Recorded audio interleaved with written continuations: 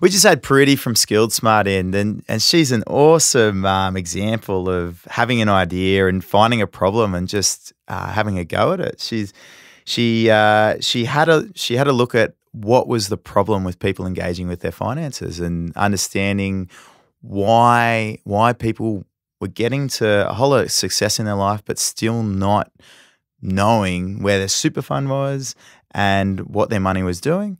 And she went out and solved it. So there's a whole lot of interesting discussions that we have around that journey, what she's learnt, how advisors can can actually take um, take some learnings out of it and apply it to how they engage with people. So uh, sit back and enjoy the show.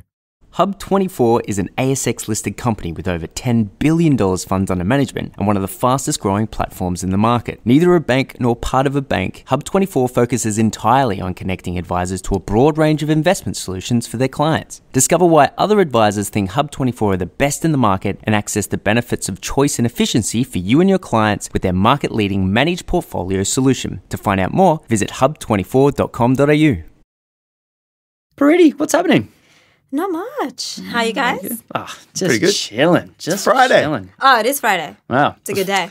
Um, we met because uh, you do some pretty cool stuff in the financial education space. And Yeah. one thing that I find financial planners don't do amazingly well is public facing education. I think a lot of financial planners get uh, kind of intimidated or, or scared uh, that they're going to say the wrong thing or put themselves in a difficult situation. Or have the, their compliance team knock on their door going, What did you say to those kids? Yeah, yeah, yeah, yeah. And I think it's a real problem, um, which has always kept uh, financial education on, on sort of on lockdown in a lot of ways. Yeah. And and then you came along, Yeah. and uh, and you were like, "Yeah, stuff all that stuff. uh, I'm just going to go out and teach people."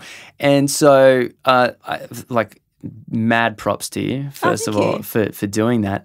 And then um, over time, I, I'm not sure if this was quite an angle of yours to begin with, but if I look at your marketing material, uh, it's quite it's it's female focused in a lot of ways. Is that is was that that, was never actually deliberate. Yeah, okay. So it might be coming across. I might just be choosing like yeah, yeah, yeah. feminine marketing because I'm female. What, I don't what know. is feminine marketing? It's flowers. it's a lot of flowers. Oh, that's big. I was gonna ass. say I was gonna say ass. pink, but I thought that was a bit um I have strategically stayed away. that's a from bit pink. simplistic. very deliberately. um, yeah. So interestingly, I never deliberately intended this to be a female product or Yeah. a female Yep, yep, yep. oriented business, but I did see that like a good eighty percent of the demand was from women. hmm Um, and I have had people like students come up to me and say like, "Oh, because you're female, I felt more able Awesome. to sign up for it." So Yeah. it might be that That's you know, cool. as the face of the business, that has a bit to play with it. But um,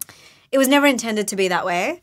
Um, but I think in terms of the marketing angle, I think the effort was not to be feminine. The effort was to be engaging. And I think what I saw was that across financial services, generally speaking, the marketing was really dry and unattractive and unengaging. Mm. Yeah. And like the websites were just very boring Oh, and yeah. very like, do you know what I mean? Like they just hadn't been updated into like 2018. And it was just. no, 2011, uh, you should say. yeah, and it's, it was kind of like, well, you know, it, even if you kind of like go and look at, say, like the Vanguard website, Mm. it's like no wonder, like most people don't kind of voluntarily go to the Vanguard. Do you know what I mean? So definitely. even companies that are doing remarkably well haven't really invested in the user experience Mm. and engaging kind of like a younger younger demographic. And so the effort was more how do we kind of market the way that you know millennials might expect of their ordinary b2c companies to be marketing to them not so much um, the female angle but probably more the younger angle of getting people just interested and not feeling like there's that intimidation barrier So this is this is sort of how it's evolved now. But what what was like how did it The first kick off? Yeah, tell us about the genesis of So I think there are two stories. Um, the first was some years ago. I used to work at the Cancer Council in their pro bono department. They have like a legal and financial services pro bono. Yep. I probably probably answered an email from you or something because I did that for a yeah. little I've bit. had a couple of financial advisors that say, "Hey, we used to like, you know." Anyway, um, so I used to work from them as one of their like, as as you uh, the picked up. liaison. sort of- Yeah, well, as in like in their call center. So like you know, just Yep. taking the calls and working with the people as like uh, the front person. So we would be the people who would actually take the calls and talk to the people, and then we'd fill out the form and send it your way. Yeah, so you'd like assess the need Yeah, yeah. and- so we would take them through like that means test and everything. And I must have been like, God, like twenty or something. So I was pretty young and pretty like naive about the world, and um, pretty I guess optimistic about the world. And then you know I'd I'd have like so many calls from people who were like in their forties, in their fifties, telling me like. I thought I had my shit together. Am I allowed to swear on this thing? Yeah, yeah, go for it. Drop the bombs. Um, I thought I had it together, and then like I've been hit with cancer. or My husband's been hit with cancer, and suddenly, like you know, financially, it's just like everything's falling apart. And how did we get here? Because I thought I'd done everything right. Whoa. And as a 20 year old, that's really hard to hear because you kind of assume by the time I'm 40, I'm going to have my shit together, right? And then you're hearing all these people saying, I thought I was doing the right things, but now I'm like, it's falling apart. Like, you know, I can't work because I'm the carer. Husband's got cancer. We've got three kids. We've got a mortgage and we've got this debt. And it was really obvious to me. Like, I have a bit of a background in like finance and economics. So like I understand the jargon probably better than the average Australian. And even at that stage, it was very obvious to me that most of the people that I was taking calls from didn't have a basic grasp of their finances. You know, like so we would go through the means test and be like, "Do you have insurance in your super fund?" And they were like. I don't know, you know, or, you know, what are your assets? It's like, well, I have a car. And so, like, that basic level of understanding of what constitutes wealth and how to manage your basic wealth and finances just wasn't there. Um, so that really stayed with me. And then I went off, had a career, management consulting, all of that good stuff after I graduated. Um, and then the second kind of, I think, the closer one that really tipped it over the edge was a more personal interaction. Um, I actually wanted to change my super fund. And I was like, just asking my friends, like, oh, what like super fund are you with? Like, you know, why did you choose them? They actually couldn't answer the first question, let alone the second one. Like, they were just like, what super what super fund am I with? Like, do you know what I mean? And Yep. I think that was, you know, like when I was 20, it was like, okay, well, this is a specific segment of the demographic. But now it was like my friend circle, and it's like, wow, this got really personal real quick. You know, it's like yeah. I know these people, and I know how they've grown up, and I know the education they've had. It it's not at all. How does this gap like, how? why- emerge? yeah, Yeah. it was just like this is unacceptable. Like, how do you get to being a doctor on a six figure salary Yeah. and not having any understanding of your money? And then I think it started to just kind of like snowball from there. I was like, okay, like how is this even a thing in society that you know money that's something that's so basic that we use for like literally every day of our lives till the day we die and we receive zero education on it and we spend a good deal of our lives chasing after it whether you want to openly acknowledge that or not right like we all are impacted by money and yet like most of us just have no clue yeah. and so I think that really hit home. And then I kind of started to research. I was like, okay, if my if my friends and I wanted to like get our finances sorted, surely there's a solution here. Um, what would the solution be? And the main solution was financial advice. Holla. And the reality is that it was quite expensive. Yeah. Right. Yeah, it is. Yeah. And so when I started to like realize that actually 80% of Australians don't ever seek financial advice, um, and a large part of that is because a lot of them can't afford financial advice, it, it was kind of like saying the only way to get healthy is signing up with a really expensive personal trainer. Like if we didn't have gyms, if we didn't have group fitness classes, if we didn't have alternatives, right? It would just be insane, right? Like you either sign up for like $500 an hour personal trainer or you just stay obese. Like, do you know what I mean? It's like there needs to be a middle market product that can kind of take you some part of the way for those who can't afford like personal coaching.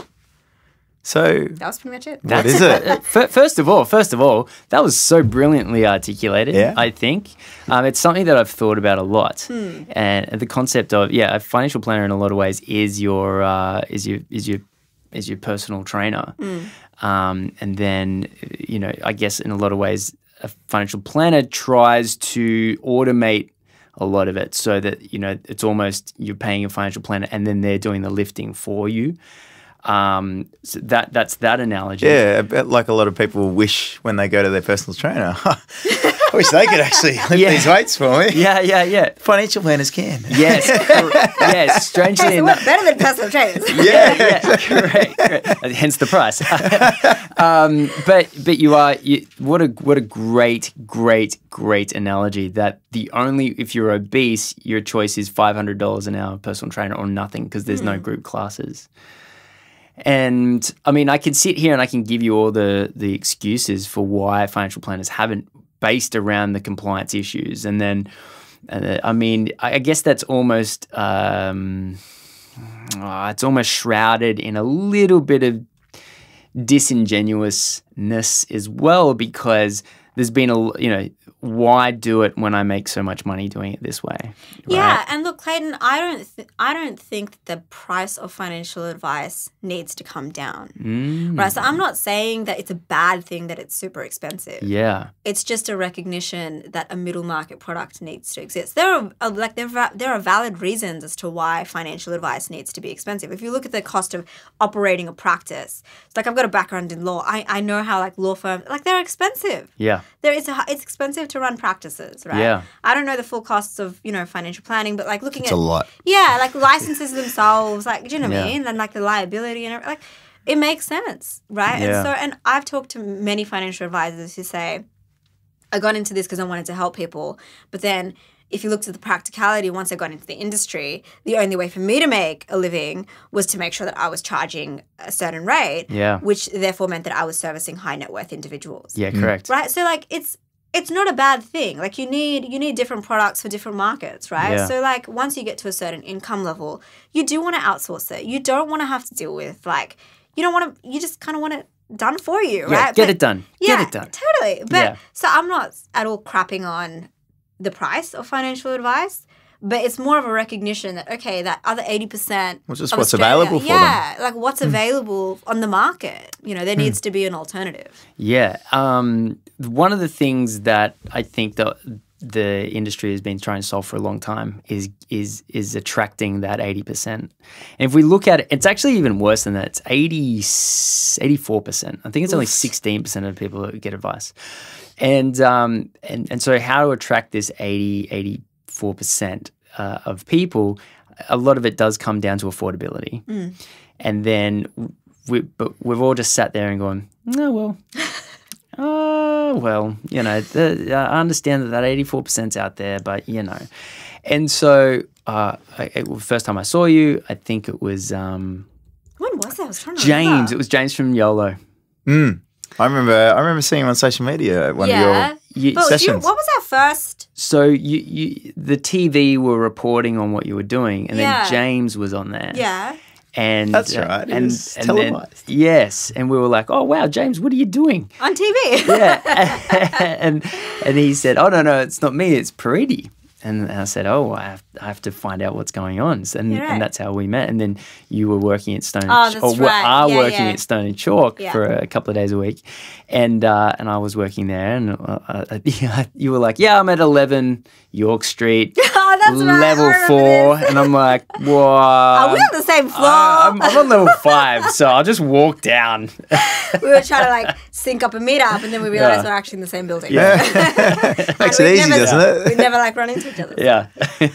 Well, the, the the other part, the first part of your story around um, that journey that you went on with the the cancer council, that um, like I don't know if did you ever get into it at all? No, no. I tried to. Yeah, I it was tried to was get into the pro bono Maybe stuff, but Freddie was a little like bit difficult. sort of filtered. Were you filtering Yeah, I advisors out as well? this. Is This Clayton guy. No, no, no. Don't let him in. but I, I did a few of them, and there's there's guys out there that like do multiple a year Yeah. and like really help a lot of people. But I found it so frustrating because you're there helping. You you don't you can't affect the outcome. The outcome's already defined. Yeah. So you're there trying to just help as much as you can with a situation. Yeah, it's really damage control, and it's really sad. It's and you, but but like what you realize, I'm there going, shit. Like, how do you prevent this? That's sort of where, and and you can only do so much. A lot of the people advisors work with, um, they're on track to to not be like that because of that.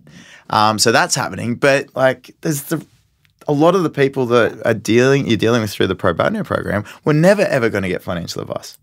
And that's the point. Like, there's a huge, and like, I think, you know, you alluded to this as well. The whole affordability issue is that there is a certain percentage of the market that is never going to sign up for financial advice. It's just not, it's just not a sensible option for them. Yeah, You totally. know, but that doesn't mean that they should be like f- in financial distress. Yeah, yeah, You know, yeah. like it doesn't mean that they should just.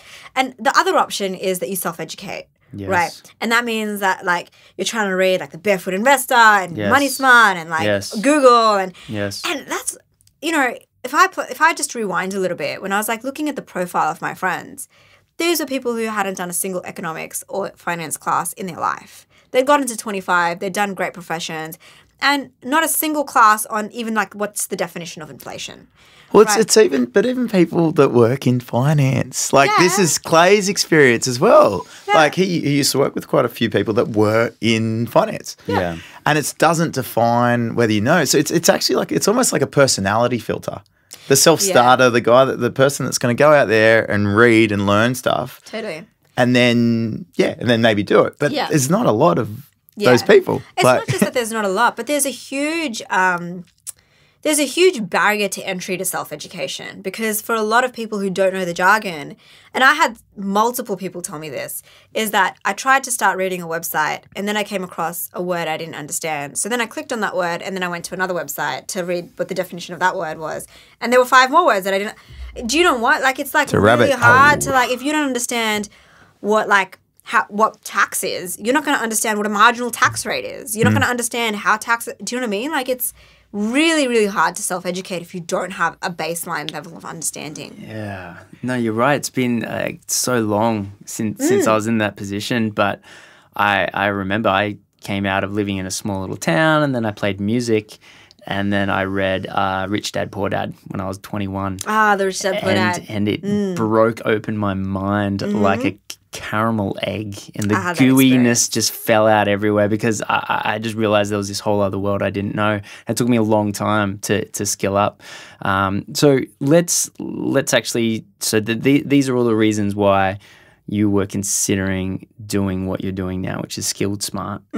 Um, and and then I think I think a lot of companies have come out and attempted to do what you you you you're doing, um, but you've I think you've got a certain ability to get people's attention. oh thank you Yeah, so that that's obviously like a, a compliment to, to your abilities, but um, I it's also it's it's and uh, it's one of those things that you watch and you go, okay, so I can't put my finger on why you're resonating, but I know that you're resonating. So, um, would, do you have a theory on why you're resonating in this space? Um, I think I think it's actually because I'm not coming at it from a finance angle. I'm coming at it from a marketing angle. And I think the challenge that I see a lot of in a lot of professions, and this is not just financial planning, but even say law, right, is that lawyers think like lawyers, financial planners think like financial planners. I'm not a financial planner and I don't think like a financial planner. So when I started this, it wasn't about financial planning. It was about selling education, right? Like how do I make that resonate? And I see this mistake happen a lot in like small business, like people who open their own practices, is you know, you go in to, for example, you want to be like a, a, a lawyer, you want to start your own practice, you open your own practice, and then you're taking clients, and then you realize, oh man, I've got to market myself. I've got to sell my, like, do you know what I mean? Like, that's a whole other part of the Skill set. skill set that people don't necessarily anticipate when they start a, a profession oriented business. Yes. Um, and so I, I probably think that's why like I've I've been able to kind of not get so stuck in the weeds of trying to, you know, become the best financial planner out there because that's not actually what I'm trying to do. Right. And so I've from day one, um, I've been very conscious of for example, how am I writing the copy? What are the colors that I'm using? How am I gonna? Do you know what I mean? Like that was forefront. That was Wow. yeah. That's cool. Well, yeah, I guess like one of the biggest reasons why people don't break through those barriers. And like you, you were talking about the barriers people get through once they actually break through the initial barrier, which Yeah. you're dealing with with your marketing, mm. which is the scariness of it all.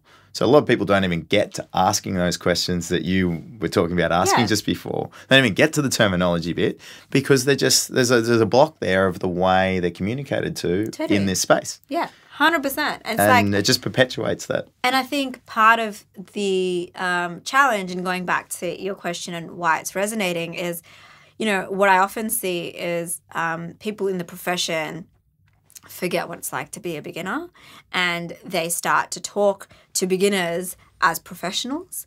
And that's not how beginners are going to resonate. They get turned off by that, they get very intimidated by that. And so, you know, like, you know, part of, for example, the screening that I do with my instructors is can they talk like a normal person? You know, can they dress like a normal person? like, do you know what I mean? Like, as in, lose the tie, lose the suit. So, Yeah. you know, so it's, I think it's challenging when you are like a deep expert in something to go back and rewind and be a beginner and talk like a beginner or talk like a beginner wants to hear. What's amazing, yeah, the the assumed knowledge mentality that people develop as they learn. Hmm. Like, and it's sort of you. You really have to consciously think about your journey and what you've learned along the way to re- to recall that, like, okay, a super contribution is not necessarily a simple thing. Yeah. And my I see that in my instructors. Like, you know, I've never had an instructor who got it the first time. Like the instructors, I actually have a process now where they have to watch a class and they usually come out of that going, "Oh, this is really basic." Right? And I've like I sit in most of my instructors' classes, the first few cohorts, and I'll be dialing them back. I'm like, "Guys, no one in this class knows who Warren Buffett is. Don't use that exact. Do you know what yeah, I mean? Yeah, wow. I hadn't even thought of that. Yeah, no one even knows who Warren Buffett is. Yeah, like we're, ta- we're talking about people who Yeah. on the right. weekends they don't like they don't read the AFR. Yeah, you know, yeah, they yeah, they yeah, go to yeah, high yeah. tea or they go Yeah. shopping. They Yeah. don't Maybe care. use Justin Hemmes as an example. Maybe yeah, that's a better one. but do you know what I mean? It's like understanding the mentality of where these people are actually at and meeting them where they hmm. are instead of assuming that they know what it's like on a trading floor or they know who Warren Buffett is. Or just or- requiring that jump to occur, sort of thing. Yeah. So, so what? Are, how are you? How have you? Because it really does sound like you. You're talking about this marketing, um, I guess, thinking. How have you validated? So, on this journey, how have you validated the resonation, like that you're resonating, and the way you're doing things have been resonating with the classes? That's a really good question. So I think a lot of it comes down to my initial process. So when I started out, I actually spent quite a lot of time interviewing both sides of the coin. So I spent a lot of time interviewing people who I thought were my potential customer and then a lot of financial advisors as well. And that gave me a really good understanding of what is the kind of language that both parties are using, what are the kind of problems that most of them are talking about. Um, and, you know, so for example, on the financial advisor side, I had financial advisors tell me that, yeah, sometimes we have to turn away clients because they're not ready for financial advice. And it's just, it's sad because if they were just budgeting or if they were just managing their cash flow, they'd be so, so much further along, but we don't have a service that can help them, right? And so I was able to kind of piece together a lot of, you know, what what both sides of the kind of coin were talking about. And I think one thing that people often miss in marketing is language is really important. And the only way you start to understand the language of your customer is by talking to your customer and actually being able to say, okay, what are the really common phrases that my customer uses, right, to actually describe their problem? And that starts to give you a feel for how do they want a solution to appear in terms of you know how they're phrasing their problem. So I is think it like almost what's going to be um, like more comfortable for them to hear? of Yeah, thing? What's well, what's going to be less pushing? well, in the sense that you can't offer a, a solution if you don't understand how someone is describing their problem, right? So if for example someone was saying hey, I want to make 20% returns, right? That's a very different problem to I don't know the first thing about finance. Mm. You know, and so if you don't understand like what language they're using to actually describe their problem, you're going to have a very like you're going to be creating a solution based on what you think the problem is. So what are these like? If so, we've got a lot of financial advisors listening. What Yeah. are some of the because what you're doing is super relevant to advisors' communications with their clients. So, Yeah. What are some of the techniques? Is there lots of analogies that you guys use, or what are how In do marketing? Oh, in terms of like, so your training of the instructors that are then communicating. What are Oh, some of the things okay. that you're getting them to do to bridge that gap? And- Yeah.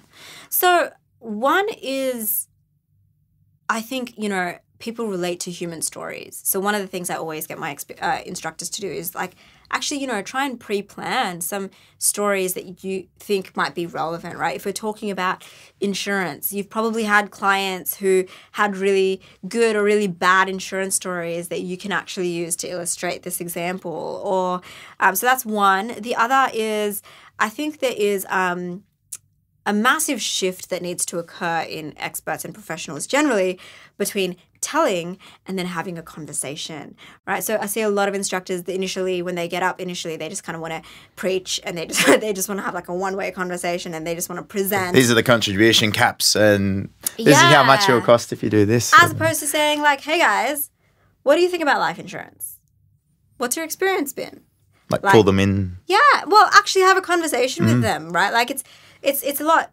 it's it's much harder on the ears if someone's standing up there going, "This is why insurance is important," Mm. versus starting and saying, "Well, what do you guys think?" And we always have someone in the class who's like, "I think insurance is a load of shit," right? And then from there you can go, "Cool." Well, you don't have to buy it, but today I'm just going to explain to you what the different types are, and you can make a decision at the end, right? But that kind of for that person, you've kind of just taken that objection and said, I've acknowledged that objection, and that's totally okay, right? But if if you're kind of going in it from a preaching mode or like a like I, I I'm the expert, therefore I know, right? It's very it's it's a lot different on the ears to saying have a conversation with Well, me. leading, yeah, yeah. ask not tell. So leading with a question is validating their presence there. yeah, totally. Like, but you guys, you guys are worth it to be here. Like, tell us, tell us what you think. We we value we value what you think about. Totally. Hmm. And I think I think increasingly, especially with younger generations, they don't want to be told. They want to be a part of the solution that's being designed. I'm horrible to be told what Yeah. to do. Exactly,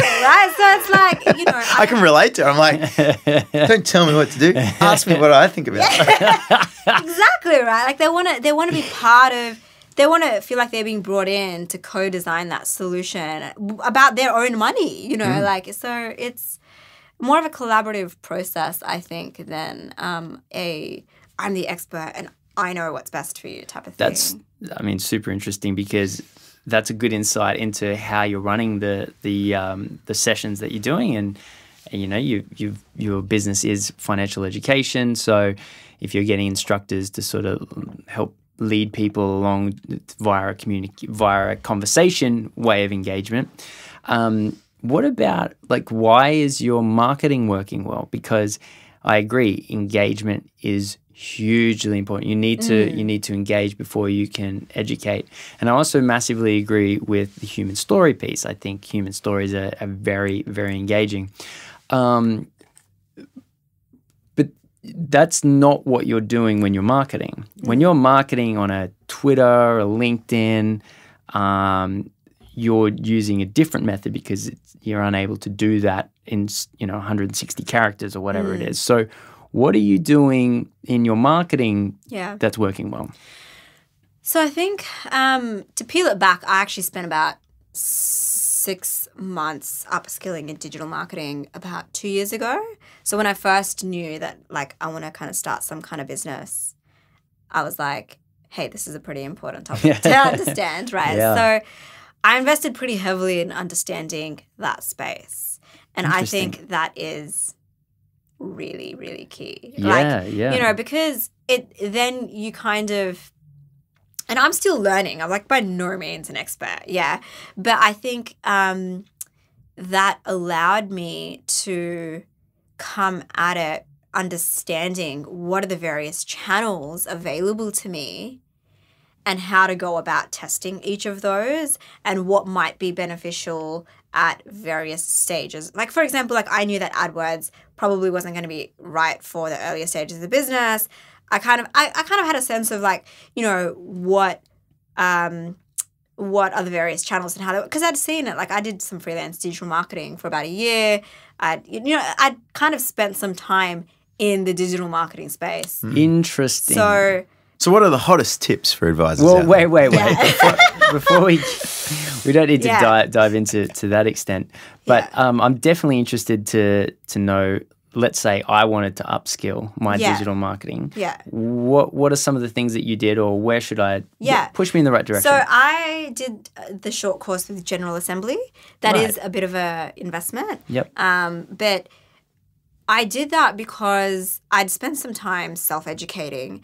And interestingly, it was a similar level of overwhelm with digital marketing when I was starting out as it might be with finance for a beginner. Um, in the sense that it was kind of like, oh, there's SEO, oh, there's ad, what, like, you know, where do I, what do I do? Right. And I didn't really know how do you look at the bigger picture. Right. And so by doing the course, it was good because you kind of saw the bigger picture view and then you're kind of able to understand how it all fits together, like from a strategic perspective. And then that allows you to kind of be like, okay, I, I understand where content marketing sits as opposed to AdWords, right? So, for example, content marketing it's a long-term play it's not a short you're not going to put out a blog post and get three customers right Aw. it's just not going to happen um, whereas like adwords is great for like short-term testing and Right. things like that Yeah. so like you you kind of start to learn from a strategic perspective how does digital marketing play out and what do you need to invest in to get different results at different points of your business so that was a really useful um,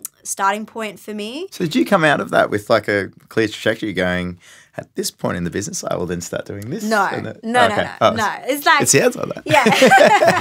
no, but it gives you like a really good foundation. Mm. Yeah. Um, and then you're able to start piecing it together and like testing and learning and all of that. So, I suppose because a lot of people sort of hear about marketing and they hear the concepts, and but they're just looking at them. They're Yeah. not they're not coming up above all the different concepts of marketing channels that you can use and going, okay, what's the rationale? Like you're saying Yeah. in terms of what's the rationale, unless you're Clayton. Dunn. I, I, I've I've seen uh, Adrian Patty do some hilarious attempts at marketing. I remember when uh, you started your company, this is about pretty. and and and we and, got wildly off track here. and, and, and, and, and, and Adrian thought it was a good idea that everyone and their dog would want a little booklet on on he, on his business and just Oh, have pictures that was a pictures of Sydney. brochure. It's just It pictures of the harbour bridge and and things like super. You need to look at your super account. Yeah. it was gorgeous. Uh, it was and such a nice and I remember looking at it just going, who who who do you give this to? Do you give this to someone who wants a financial planner or do you give this to an existing client? And how do you give it to them? Are you going to stand it on the street or is it just meant for them in the in your waiting office? Like it was so hilarious, but you I, I say the same thing about his book. touche, good sir, touche.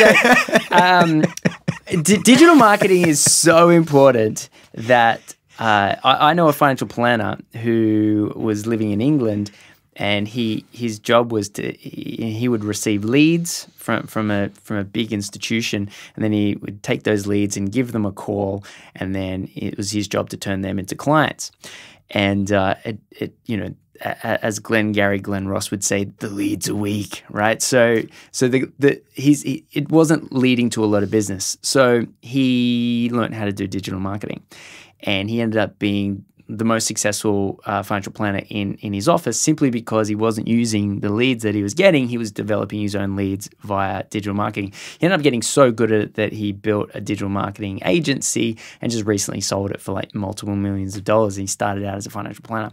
Um, the what's interesting about that story and what you're talking about now is if you nail the digital marketing space, if you are engaging with that 180 characters or on that LinkedIn post and with your colors and, and everything that you're talking about, it's amazing what can be achieved. And I think traditionally in financial advice, we haven't really tried to do too much there. A, there was always the the problem, the issue that maybe you say something wrong. Um, but it was really more why bother when you know uh, uh, uh, was friends. simpler, yeah, simpler ways of get it that are more immediate. Hey, do you know anyone that needs Mm. instant advice? client gratification yeah, sort of thing. correct. And it was never need to build too much of a pipeline because you know you don't need. Well, it's an investment. Like you had to. It is an investment. put effort into it. Yeah, correct. And so now that you know you've spent a bit of time, you've got that skill up your sleeve. You're now achieving traction. Um, you're drawing the attention of uh, not only financial planners but also uh, you know clients are learning in your company. Um, where are you headed? What's That's the good next step? Yeah. Just bigger and better. Are you, are you going for lear- are you going for High learn? five. Are you going for LearnVest? is, is are you Ah, going so for have you seen what's happened to learn LearnVest? since it's been purchased? Yeah. Pretty much been It's gutted. demolished. Yeah, yeah, Yeah. yeah. Well, So- they just stripped out the tech. They just stripped out everything. They just put It's product a- in there.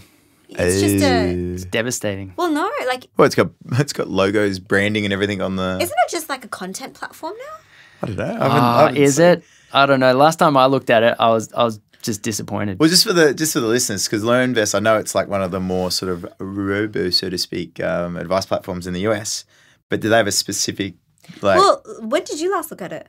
Years ago. Oh no! So like in the last year, Ah. they scrapped their whole model, and now they're just a digital publishing. Oh, so yeah, just so Northwestern that bought them, I think it was Northwestern. for three hundred something Whatever. million dollars. They Yeah. scrapped it. They just said like they tried it for a few years, got rid of the whole thing, and now Whoa. they are just a content publishing Yeah, right. kind of like the balance. If you guys have, okay, No. yeah, no. that's like a yeah. It, it, but but going back to its, its original purpose, which was financial education mixed in with helping people develop their own plans and Yeah. things like that. Um, is that where you're headed?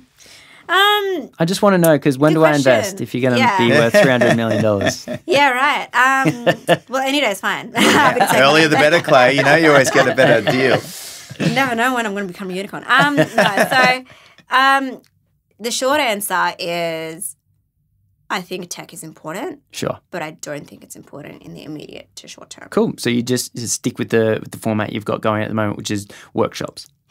Yeah, yeah, and um, I think it's going to be an education play for at least the next 12 to 24 months. You're going to turn into a registered training organization. No, because RTOs are more for vocational. From what Yeah. I understand. Yeah, yeah, yeah. Yeah, and this was never intended to be vocational. Well, so and all, then it starts to get dictated by other Yeah, parties in terms of what you do. yeah. Like it's like you got to match to like a syllabus that's already been 100%, yeah. predefined.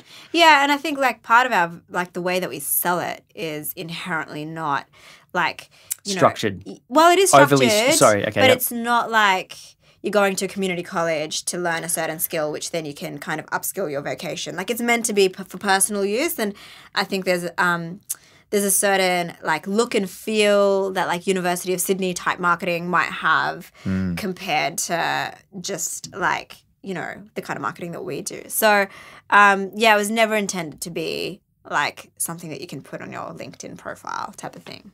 So I there's a I, I sort of got I was um on the FPA chapter and we started looking at um, like and a lot of advisors in the group have looked at school education around financial literacy and there's a lot of awesome advisors that are out there that are um, spending time in schools um, there's a couple of good programs that have come through um, what's what's the one um, Spriggy or Oh yeah, Spriggy. Yes, yes. There's a few things that really get into school and starting to um, teach concepts. But we came across. We actually went down to talk to the education. Uh, yeah, the education department um, down at Oxford Street or whatever, and it was just really interesting that it wasn't making its way into the core curriculum. Yeah. It was still an option that the principal would be able to make a call on. So you've got they've got this huge overflowing curriculum and syllabus that the teachers have to deal with. And it was up to the principal on what was allowed in still there. So it wasn't it hadn't made it into the core sufficiently. And and you look at what Money Smart's got, there's some amazing stuff on there. Yeah, like totally. what they've put together. Yeah. Um, but it's just like obviously there would have to be a lot of work before there would be nothing for you to do. And Yeah. there's always going to be Well- people that don't listen to at school. But what could they do? What what would you see as sort of helping the problem at a broader scale? Like because you can you can do your part. And Mm. Yeah. I have a bit of a controversial view about, dun, dun, idea- dun. Tell me. about education, financial education. In Education in general. Yeah. Scrap the schooling system. Yeah. It's going nowhere. Anarchy. Well, that, but you know, um, like okay, so a, lot of people talk to me about financial education in schools and why I'm not doing it in schools. And I think so. Initially, when we when I started out, um, I knew there was a need for financial education, in general. And so I tested various markets, right? So I went and talked to people at uni, I went and talked to like like high school leavers, that kind of thing.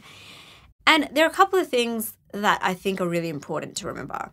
And I think the first is that kids don't have money. And it's really hard to care about. Care about something you don't have. You don't have money. You become really, you really care about money when you have it and it's, you know, bleeding out of your bank and you're like, shit, what's happening? Yeah, yeah, yeah. Do you understand? Like, well, actually, well, you should, but a lot of people But- still don't care but about that's that. the point at which, that's the point at which people start There is to something to care about. There is, there needs to be hmm. something to care about. And kids are just too removed from, You can sell them greed.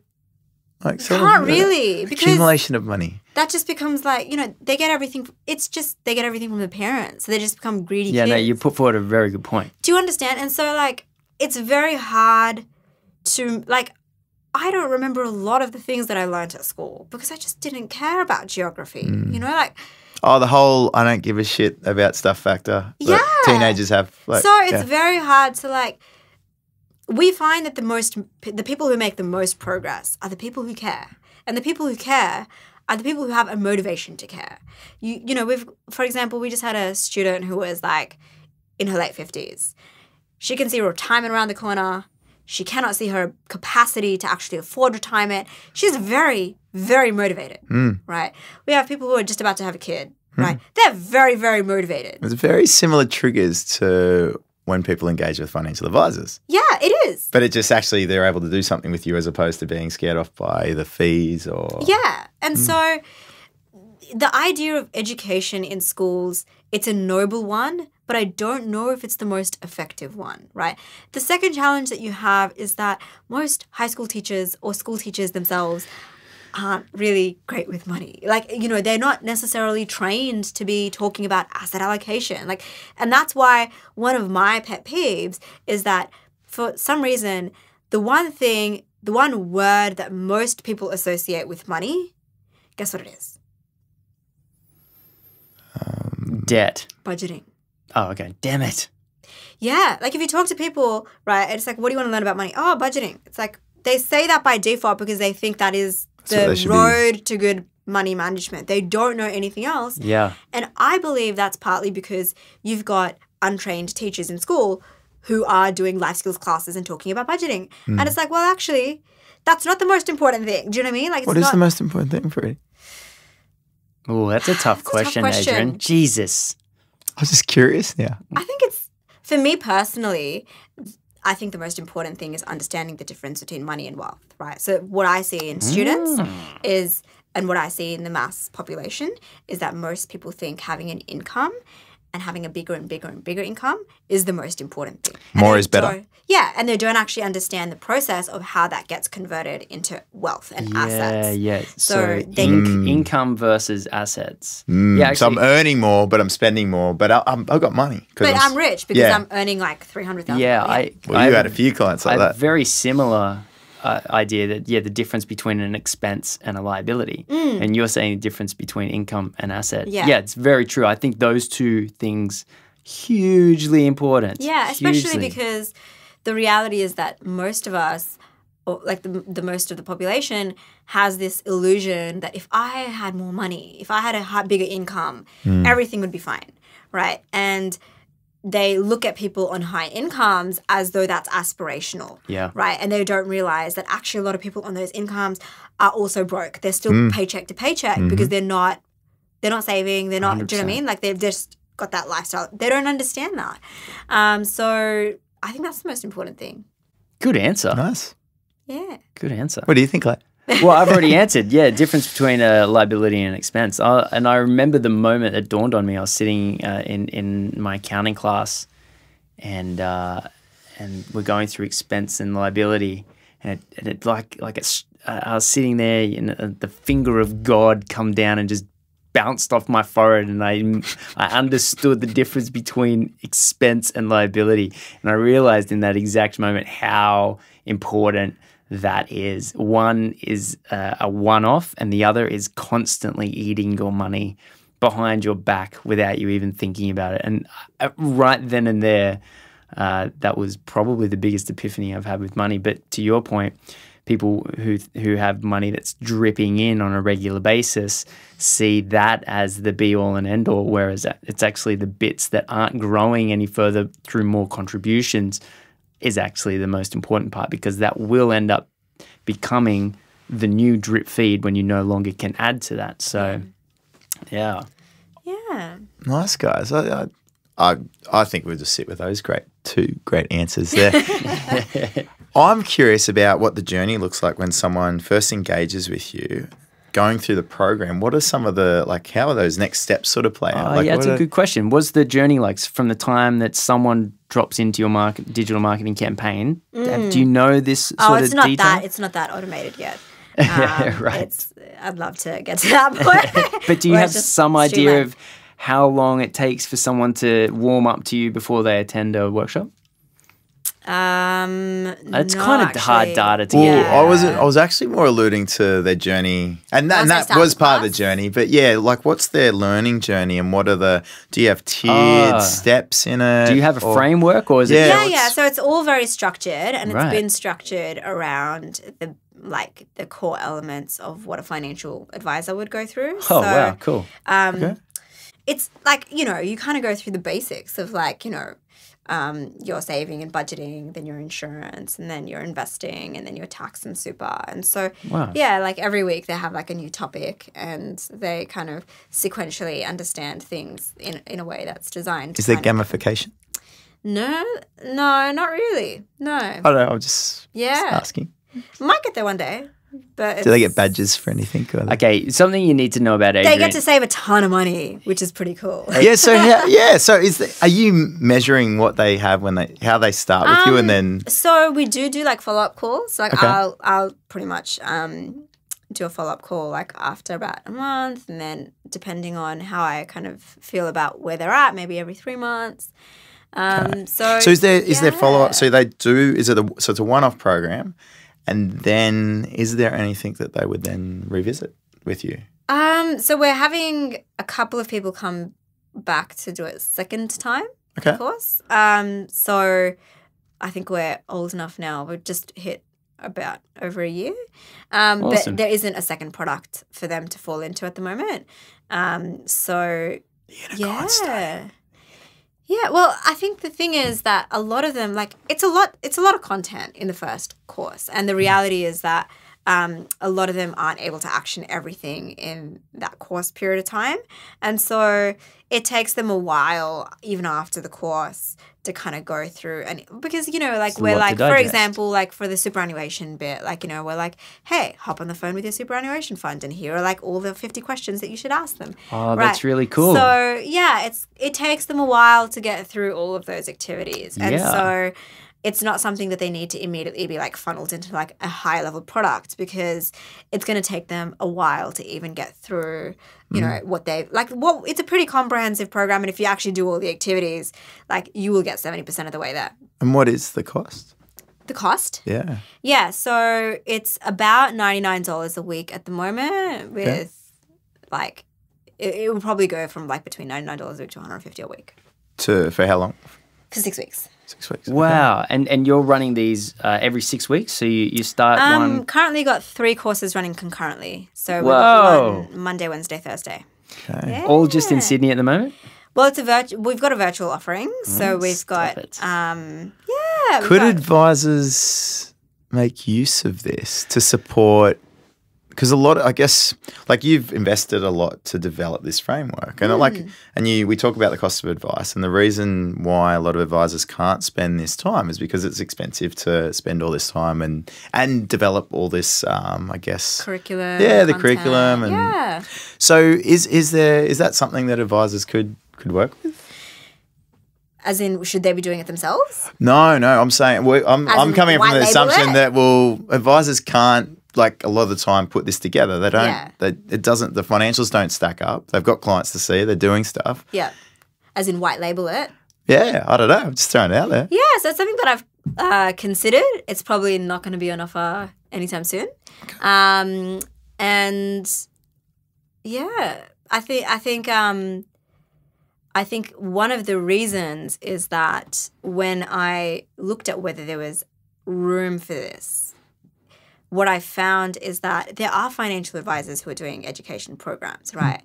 But there is an appetite in the market for having something that's independent, that isn't a sales funnel into someone's financial services. Mm-hmm. good point. Do you know what I mean? Like, as in the idea that you can go to this place, yeah, yeah, yeah. you can learn, Yeah. and you can feel very safe in the knowledge That- that, no one is trying to sell you That you're some not gonna sign up to something at the or end. service right. at the end. Right. Fair enough. And it's like, look, I, I totally respect where you're coming from, Adrian. And Well, I I'm thinking actually they've already they already want to work with the advisor, but the advisor's going, this person needs some upskilling.